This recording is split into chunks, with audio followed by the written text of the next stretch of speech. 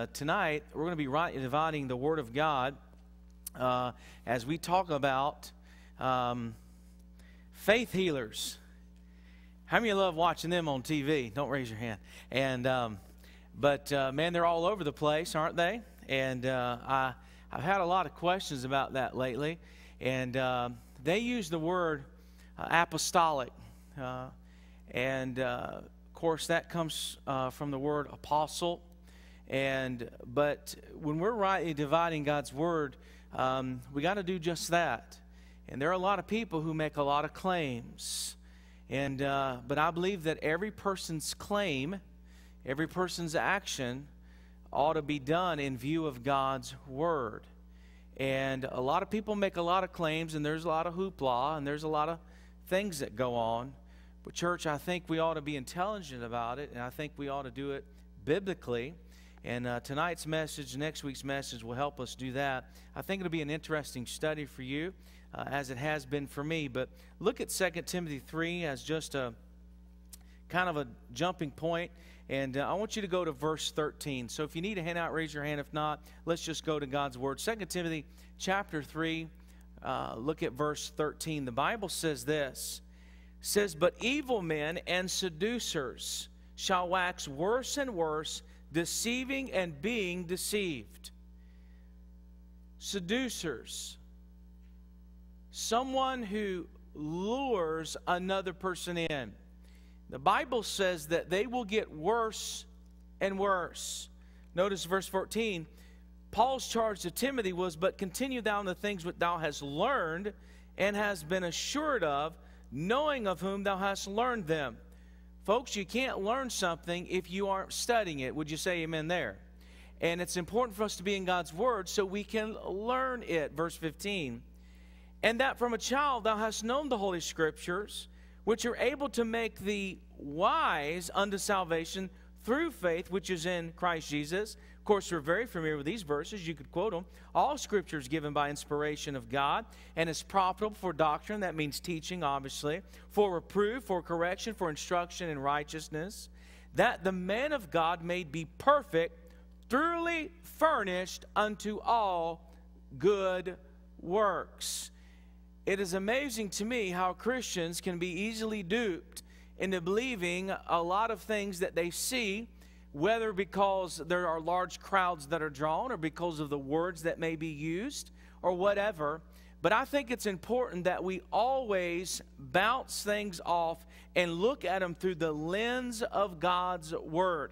If someone proclaims to be a teacher of God's Word, if they proclaim to be a preacher of God's Word, if they proclaim to be a, a spokesperson for God's Word, you and I have an obligation, and that is to be in God's Word and make sure that what they say is true and that what they say is validated and that what they say has merit to it and that they are not adding to or taking away from Scripture. It's important. And uh, I'd like for you now to look at 2 Timothy chapter 4. You probably won't have to go far. Look at verses 3 and 4. I don't even have to turn the page. Maybe you do. The Bible says, for the time will come that they will not endure sound doctrine. That word doctrine means teaching. Everyone say teaching. Boy, isn't that true today? We want a funny story. I want a grandma story. I want a fishing story. I want something that makes me feel good. I want something that encourages me, preacher. I want something that just uh, makes me laugh a lot. And there are times for that. But there will come a time, the Bible says, that people will not endure sound doctrine. The word endure means to put up with, they won't tolerate it. That's why so many people flock to the entertainment driven churches today. That's why there's so much uh, uh, uh, on the ecumenical movement, why people rather be entertained than taught God's Word. And God's Word has told us this and has forewarned us that this would come. Look at verse 3. For the time will come when they will not endure sound doctrine, but after their own lust. I don't want what the Bible says, I want what I want. What's in it for me? What's going to please me? And look at it. How do they do it? Shall heap to themselves teachers having itching ears.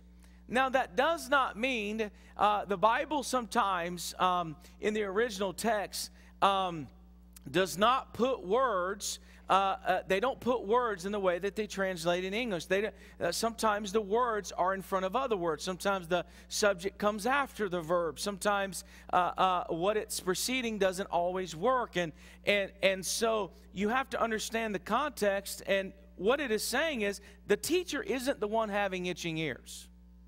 It's the student having the itch, itching ear, and the student wants to be scratched in the right place. You ever had an itch you just couldn't get to? And you had to get some help. And maybe it was your wife, maybe it was your husband, maybe it was your friend. When they hit the right spot, you're like, oh, yeah. Ooh, that's good. You know, you, you, you scratch your dog and or, or and it man, they'll get that leg going, or you know, that cat will just kind of lock up, you know, just and you got them. And there are Christians who are just like that. I only want to hear what is comfortable. I only want to hear what makes me feel good. I only want to hear what benefits me. Paul said it very clearly. Look at verse 4. And they shall turn away their ears from what?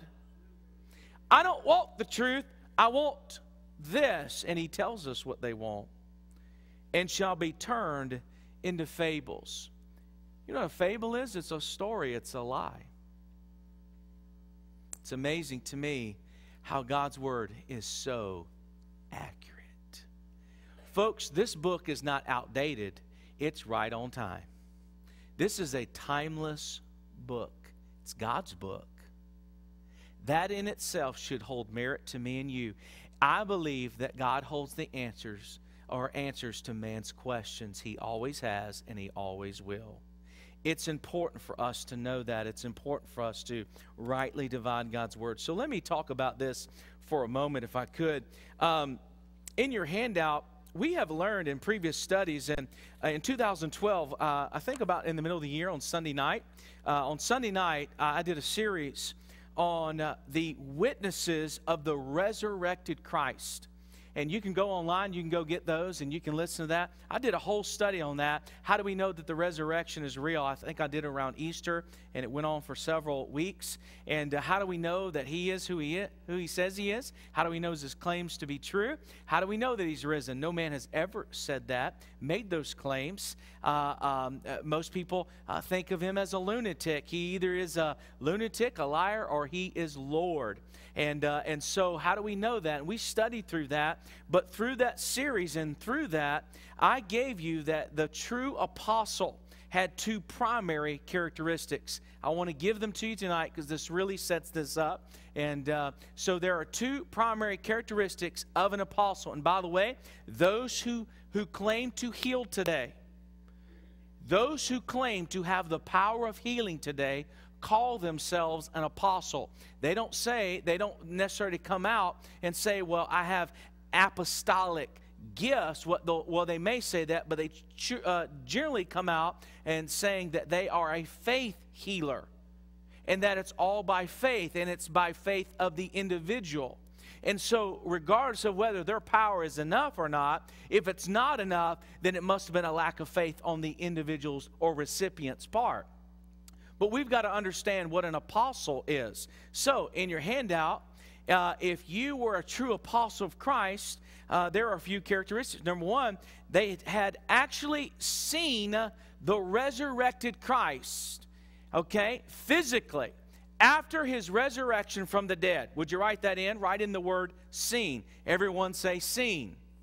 Now, I may not be the sharpest knife in the drawer.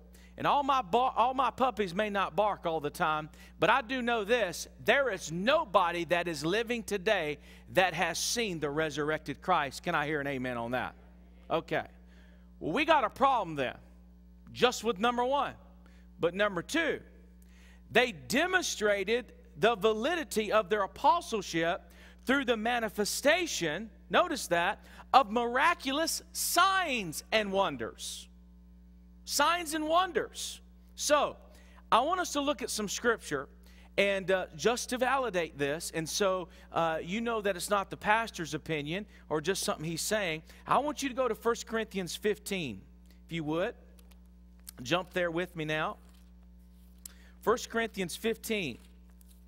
I'm using a new Bible, something that uh, I have not wanted to do. And uh, I love my worn out, duct taped Bible. I do. I love that. And that's worn out. I, I can literally get to pages just by where they are in my Bible. And uh, so I, I probably won't get there as fast as you do, but I'm doing my best to break this thing in. So, and uh, but I'm thankful uh, that I had another Bible to go to.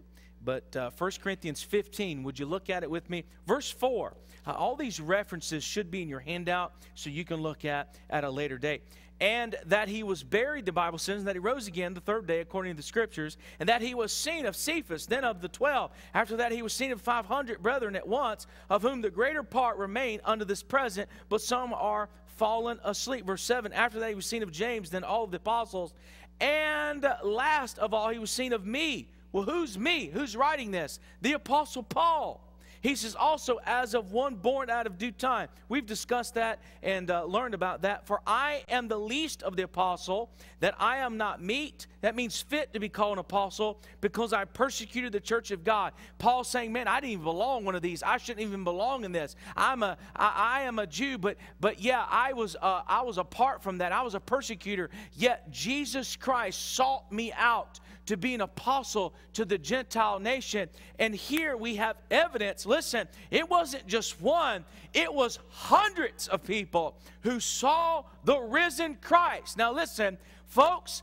If someone died today and there was a resurrection, you went to the graveside and whoop, that person came out, there wouldn't be 500 witnesses. There would be all of Martinsville coming to watch the show.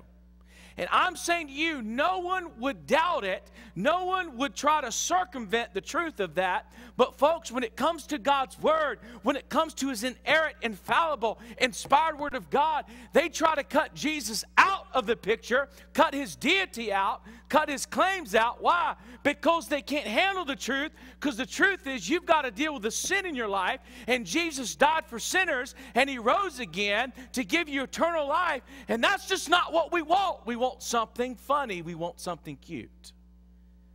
And they don't want to deal with that. But the Bible says, contrary to what you believe, my friend, the Bible says that he was seen of many. So, obviously, the Bible is true, and uh, what his claims are are true. Now, go to Hebrews chapter 2. Hebrews chapter 2. We're going to be all over the Bible tonight. So you just might as well get ready wear your fingers out for Jesus tonight, okay? And uh, let's get in that Bible. Let's dig in. Hebrews chapter 2. And look at verse 3 and 4. If you're there, say amen. All right. How shall we escape if we neglect so great salvation, which at the first began to be spoken by the Lord and was confirmed to us by them that heard him, God also bearing them witness, both with signs and wonders? and with divers miracles and gifts of the Holy Ghost according to his own will. How do we know that he's the Messiah? Because when Christ came, he did not even start his earthly ministry to about 30. He didn't even start doing those types of miracles. But he did that because the Jews, the Bible says, require a. Oh, yeah, you know your Bible. He says, I came not only in word, but I came in deed and I showed you who I was. And the Bible keeps confirming that over and over. Would you go to Mark 16 20? Mark 16 20. This is, this is so good. Hope you're enjoying this. I didn't even start and I'm already enjoying it. It is so good. The Bible says, Mark 16 20, and they went forth. I'll wait for you. Mark 16 20. The Bible says, And they went forth and preached everywhere, the Lord working with them and confirming the word. How did he do it? How did he confirm his claims? Very simple with signs following. Then it says, Amen. Amen? it says, Amen. Amen. So you amen it. If I keep doing that, will you keep saying it? and uh, we'll just keep going. Look at 2 Corinthians 12 12, and then we'll move on, all right? 2 Corinthians 12 12. These are the two characteristics, of course, uh, of an apostle of Christ. And the 2 Corinthians 12 12. Let's look at that, then we'll move forward in your handout. The Bible says, 2 Corinthians 12 12, truly, the signs of an apostle will wrought among you in all patience and signs and wonders and mighty deeds. How did you know if they were an apostle? Well, it's very clear. They saw the resurrected Lord. And secondly, man, they performed miraculous signs and wonders. Every one of them. So, there are men today, and women, I should say, who claim to be an apostle and have these apostolic sign gifts. Were they evident in the Bible? Absolutely. Uh, did God use them? Absolutely. But they were for a time and they were for a purpose. And but there are men and women who claim to have this same uh, type of apostolic sign gifts, and you see them on TV. And it, by the way, it brings huge ratings and it brings huge crowds. People flock to these people. And man, do they fill the buckets up with money when they come down the aisle. And, and, and, it, only makes sense. Why? If you were hurting and, and if you had a need and, and, and you truly in your mind believed that, that, that this would happen and this person had this gift, you'd give any amount. And when they asked for their needs to be met financially and that this thing doesn't, doesn't come for free and man, we had to bring our people in and da da da and move all this in and cameras and all this stuff, man, your heart just gets moved naturally. And so through your emotions, man, you're like, I, I, I, would give it all so I could walk again. I'd give it all so I could see again. I'd give it all so I wouldn't hurt so bad. And, and so they do. And, and the truth is, in your handout, it seems that the number one gift that they purport is to have this apostolic gift of healing. Would you write that in? If you'd notice, when you watch TV or you listen on the radio and you watch this, it supersedes preaching little bit of Bible, whole lot of healing. Little, little, little bit of Bible, whole lot of singing. Why? I got to work it up. I got to get you in a frenzy. And, and, and, and by the way, I, am going to bring one to the surface in just a minute that does this, and, and I'm going to tell you where he studied from, and I'm going to tell you there, there, there's chanting that they do, and they use certain songs and use certain words, songs that we even sing but they do it in a manner that is even hypnotic. And, and, and, they teach you how to learn how to do this. The books that he studied from, the person that mentored him, uh, was a person who was a professional hypnotist and, and, and on their team. And when they take uh, to these big crusades and stuff, they, they bring hypnotists that screen the crowd when they come down the aisle. Hey, the media doesn't show this junk. The media doesn't talk about this stuff, but it's so true. And, and, and, they and they flood the aisles with this stuff and they're screened and, and, and yet you never see the people who go home still hurting. You only see the people throwing their canes around and, and throwing their wheelchairs around. And by the way all of that is a fallacy. Now i do not uh, for a moment think that with that many people praying, with that many people coming, with that many people believing and desiring something, that there aren't people who do who, who don't get healed. I, believe, I do believe there are people who get healed, but I'm going to tell you this it has nothing to do with man. Hello? Thank you. That deserved an amen right there has nothing to do with man or some guru who gets up uh, and, and, and, spins himself around and, and has this uh, oratory skills and, is good at what he does, and because he's flamboyant or charismatic, has nothing to do with him. Has everything to do with God. But I do have a problem, and you should have a problem, that Christians are duped in this. And there are hundreds of ministries. There are ministries locally that do this. There are ministries that surround our area that do this. And I want to read you just an article that was sent to me in the mail. It was coming out of a, uh, it came out of a uh, magazine that uh, is free. You can pick it up, and they pay for these ads. And her her location is uh, somewhere in North Carolina, and uh, she gives you a big phone number uh, to call. And by the way, it's free by donation. Okay. Let me just read it to you. Has someone put a spell on you? Are you full of bad luck? Gloom, despair, and agony on me. Deep, dark depression and added misery. If I had no bad luck, I'd have no luck at all. Do you have enemies that get you down?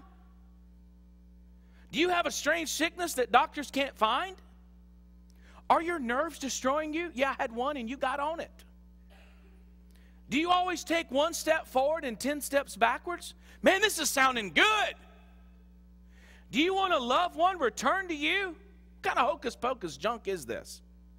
Do you feel lonely because you lost your love to another person?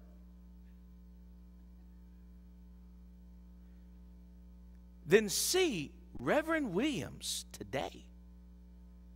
Why suffer? Why worry? Let Reverend Williams help with all your problems. Now, on a side note, don't confuse Reverend Williams with palm readers. The Reverend Williams is an ordained minister of God. Not in my book, you aren't.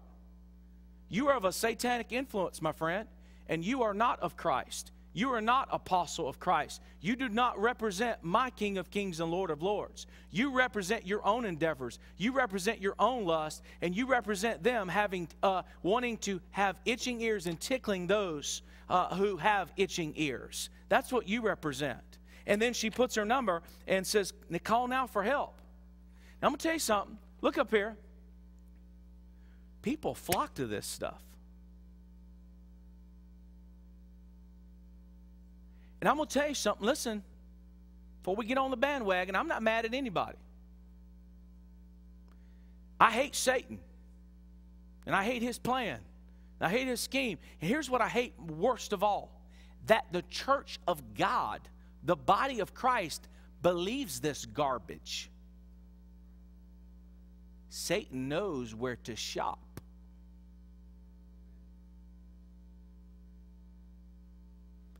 Go to Reverend Williams for all. You got bad luck?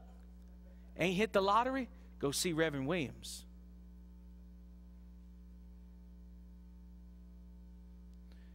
I'm going to tell you something. Now, listen to me. If you hurt bad enough, if someone's hurt you bad enough, you know what you may do? You may just make that phone call. And they know it. God help a church that ever puts an ad out like that. I want to know where Jesus is at in this article. Did you hear anything about Jesus, the Bible, Him being our hope, Him being our life, us being called unto Him, and Him being our everlasting life, Him being our peace? Hey, you see that anywhere? That's not in here at all. Yet people believe this stuff. And, and, and listen, uh, we're not here judging people. I, I, I, I don't judge someone's heart, but I'm going to tell you something. I can judge people's actions. You put it in writing, sister, I can read it. And, and we don't judge people's heart, but I'm going to tell you something. We have a right, we have a right to handle people's mishandling of the truth. And we must do that if we believe God's word. And if you believe God's word is true, and if you believe it to be the final authority for your life, you cannot tolerate these lies. You can't tolerate these half truths. You can't tolerate any deception that Satan may mail you, email, text you, Facebook you, Twitter you. You got to stand up for what is right and the truth and say, man, this is of Satan, it's not of God. And I do believe that, listen, I have no doubt that Reverend Williams, I mean, she put a picture on there, that she has a sincere heart to want to help people. And in her mind, she, she really wants to help people. There's no, she's probably not trying to hurt people. She, she, she but there are charlatans out there that uh, are, are, trying to make a mockery or make a monetary uh, enterprise out of people. Now, now, may I say this to you tonight that the charlatans are not only in the apostolic faith, they're also in the Baptist faith too. There are a lot of Baptist crooks out there. They just ain't an independent Baptist. Southern Baptist, Free Will Baptist. I'm saying just because one slaps a Christian bumper sticker on their car doesn't mean they're with Jesus, okay? Like that'd be saying the same thing because I live in a garage, garage that makes me a car. No, that doesn't. And I'm saying to you that multitudes of people with sickness and disease crowd into these auditoriums hoping to find deliverance from the infirmities and through the means of a faith healer. And make no mistake about this, it is a big money making business. And I'm going to tell you that in just a moment. Probably the most well known person is Benny Hinn. Benny Hinn lives in a multi million dollar oceanfront mansion, drives a Mercedes Benz uh, that is uh, uh, a Mercedes Benz that is $80,000. He sports elaborate clothes from, from Versace to, to, to uh, names I can't even pronounce. And, uh, and, and I got this right off. And by the way, I, I printed out a transcript from an interview that the LA, LA Times did with him. So I'm not quoting anything I don't know. I'm quoting everything that was said and documented. You pull it right off yourself. He brought in right at $106 million in donation over the last two years. Now, listen, I'm not against bringing in money. God help us, we all need it, and this church needs donations. And by the way, you ought to be extravagant givers, uh, but we ought to be giving in the right manner, and we ought to be giving to the right work.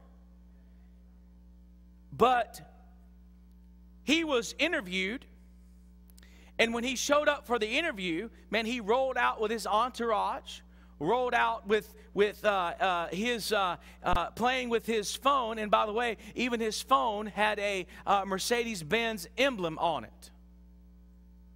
And you can't see it right there, but his wedding band, and I'm all for a wedding band, that wedding band has his insignia on it, and it is about this thick and covers from knuckle to knuckle. And it is encased in multiple diamonds. Now, this is from his own mouth.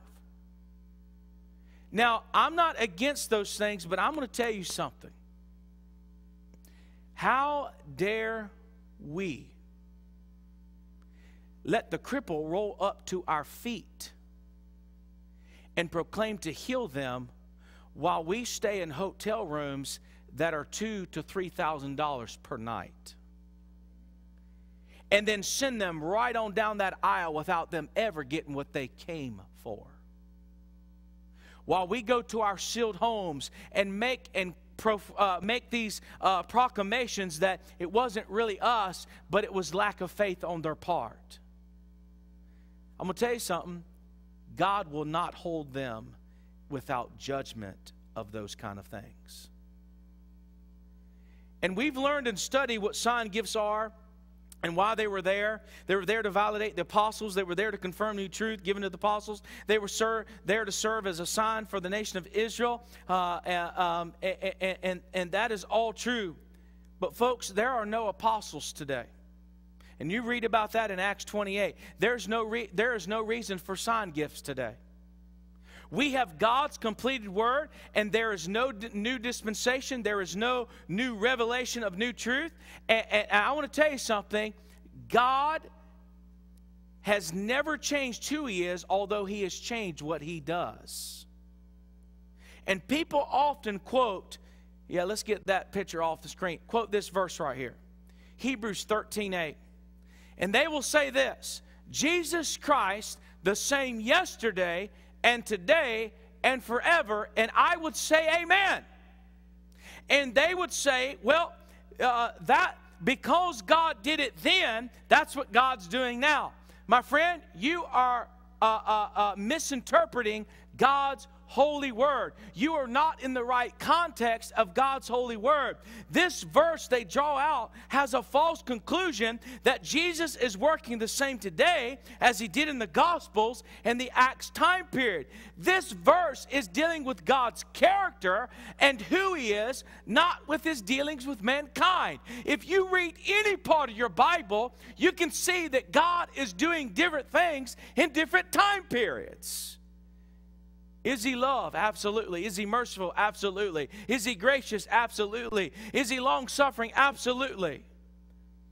But God dealt with Israel very differently than he has dealt with us. And I'm saying to you that when people make these kind of claims like Reverend Williams or Benny Hinn, then we've got to put them to a biblical test. And we got to match Scripture with Scripture. And we got to make sure what they're saying is what God says. And that we have got to make sure that we can discern this stuff and make sure that it's true and accurate.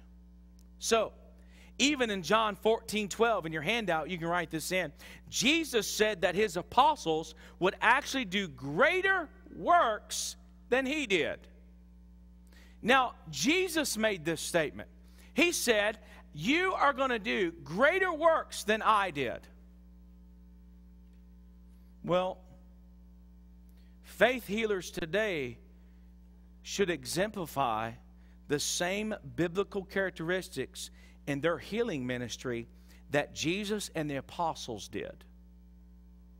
If you're going to speak in tongues, then you ought to do it the Bible way. And by the way, they don't. If you're going to heal today, then you ought to do it the way they did it in the Bible. And by the way, they don't. And I'm going to prove it to you. If they're going to make these claims of healing power, then it should line up with Scripture. Don't you agree with me, church? It should line up. But we got to look at the characteristics, all right? So let me give you a few of them, or at least one or two, and uh, if we have time, if not, that's fine. First of all, and I want you to write this in Jesus and the apostles went to where the sick people were. Would you write that in? You got to remember this.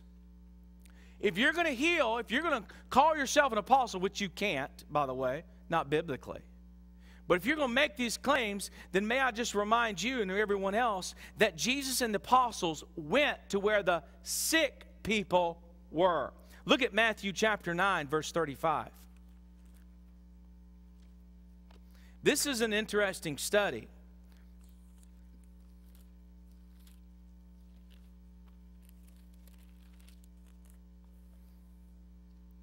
Matthew chapter 9, verse 35, the Bible says, And Jesus went about all the cities and villages, teaching in their synagogues and preaching the gospel of the kingdom and healing every sickness and every disease among the people. But where did he go? He went all about the cities. Jesus and the apostles went to where the sick people were. Look at Acts chapter 5. And by the way, all these references are in your handout. Acts chapter 5. Look at verse 15 and 16.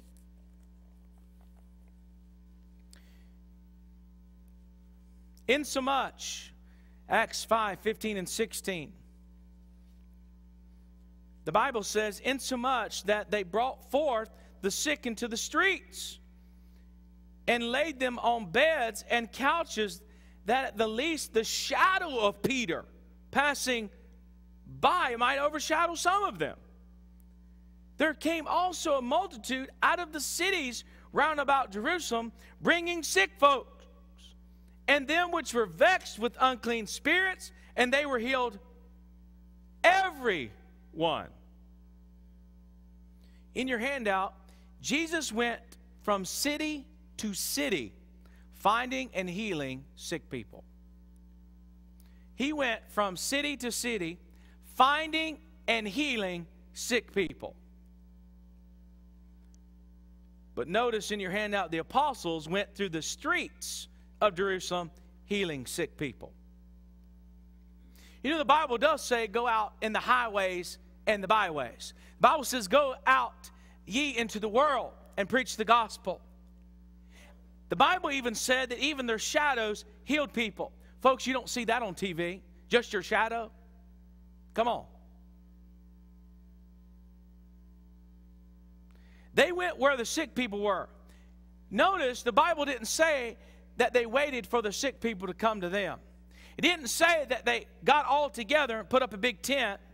How thrilling it would be to have this gift, I would imagine. Imagine being able to go to the hospital and walk through the hallways and touch people that are sick and dying and heal them. Can you imagine that? Man, Miss Patsy, I can imagine you doing that.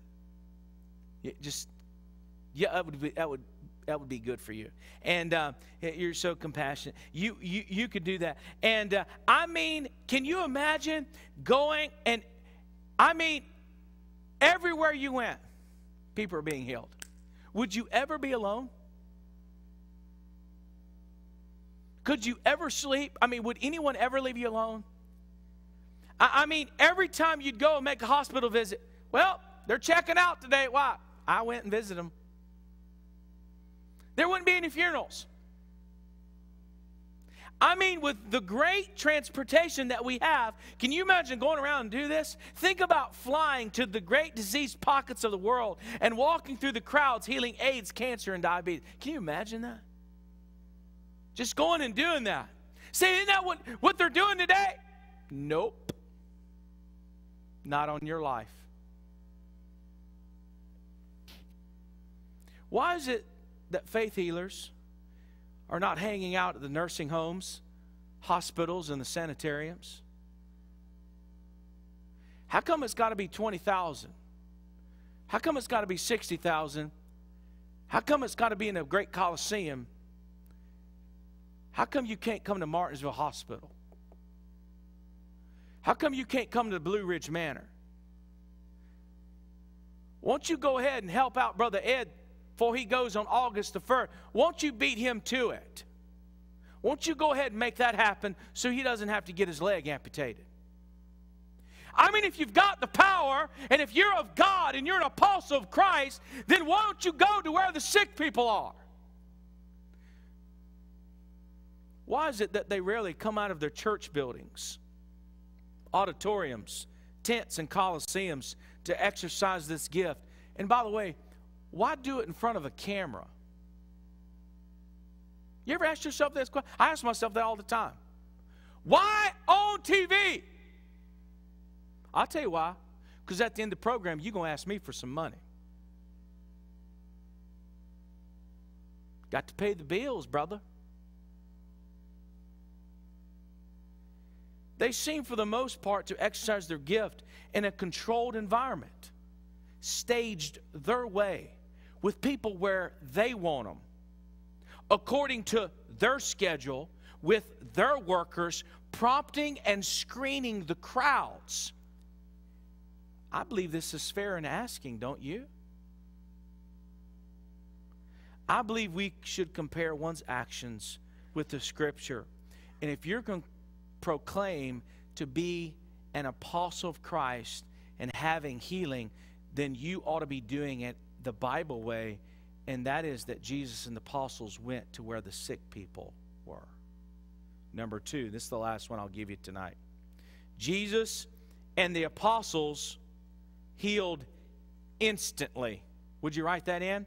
Instantly. Look at Acts chapter 3. Shouldn't have to go far. Acts chapter 3. You know that this is the lame man uh, who, who came and he was uh, lame from his mother's womb when he was born, okay? But I want you to jump down to, um, uh, go to verse uh, 7. All right, this is a lame man. He gives the uh, uh, kind of all that in the first part. And he took him by the right hand and lifted him up. Immediately, his feet and ankle bones received strength. And he, leaping up, stood and walked and entered with them into the temple, walking and leaping and praising God. Now, I want you to look at chapter 9. Acts chapter 9. Look at verse 32. Acts chapter 9, verse 32. And look at all the way through 35. 32 through 35.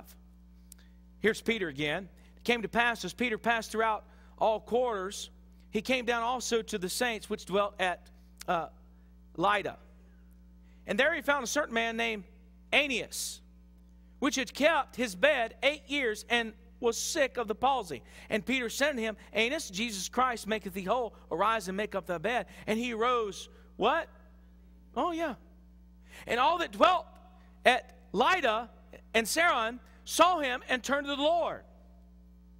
Now, there's a few other verses. You can look that up. But here's what people say. People say this. Now, look up here and we're done. People say, well, man, the Lord healed me and I'm getting better. No, you don't get better, my friend. It's instant. My back feels better. No, it don't. It gets whole. My arthritis, well, it doesn't hurt like it used to. Mm-mm, there is no such thing as arthritis. My tumor is shrinking. Mm-mm, no tumor. Uh, my cancer is in remission. My friend, it ain't remission. It doesn't exist. You see what I'm saying? When God heals, He heals instantly. And I would say to the people say, well, all these things are happening, I would say, you know what, that's wonderful, and I'm glad that you feel better, but that is not a gift of healing as exercised by Christ and the apostle. Uh, what I'm saying to you is, yeah, God may be at work in your life, but it wasn't done by man. And when God, when He healed, when Christ healed and the apostles healed, it was instantaneous. The crippled guy that was lame from his mother's womb, you know, you notice he didn't get up and start walking with a cane. He didn't work up into it. No one had to steady him. No one had to help him. Help him out of that chair. He don't need your help if God's doing it. The Bible says he immediately stood up and stood with them. He doesn't need your help. When God does it, He does it instantly and completely. Notice he started walking, the Bible says. He didn't crawl. Here's a man who's never walked. You'd think of a person that's never walked, they'd crawl before they walk. He didn't crawl, he walked. That's how God does it. Benny Hinn doesn't do it like God. Benny Hinn is not a spokesperson for God. I'm saying to you, if you're going to do it, do it God's way. He didn't have to warm up. There weren't stages to his healing process. And by the way, the crippled man didn't go to rehab. It happened instantly. Man, I'm getting through to you. You understand this? Hey, listen. If there are people who proclaim to be an apostle of Christ and have the gift of healing and have this sign gift, then they must remember number one, Jesus and the apostles went to where the sick people were. Number two, Jesus and the apostles healed instantly. Thank God for that.